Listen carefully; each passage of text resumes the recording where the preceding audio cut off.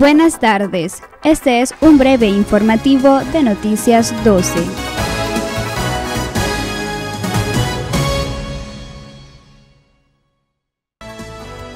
Llegan a Nicaragua más de 800.000 dosis de Sputnik Light provenientes de Rusia. Por otra parte, el Ministerio de Salud contabiliza disminución de nuevos contagios de COVID-19 en la última semana.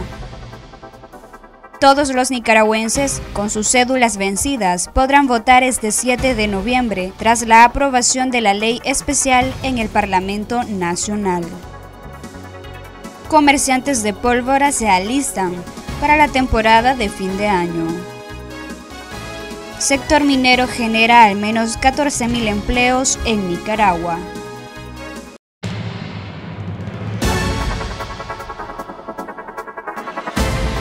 Espere la ampliación de esta y otras informaciones a las 6 de la tarde.